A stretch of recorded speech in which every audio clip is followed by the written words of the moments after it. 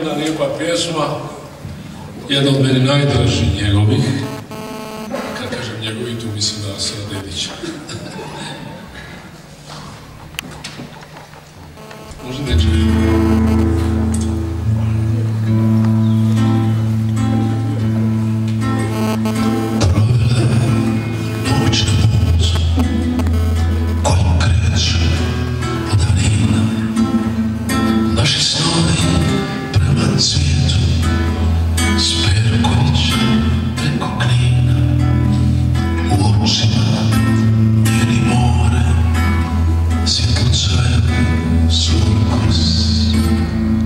Ona ne ta daje slovo Otimko se i prekusi Djevojka iz usnama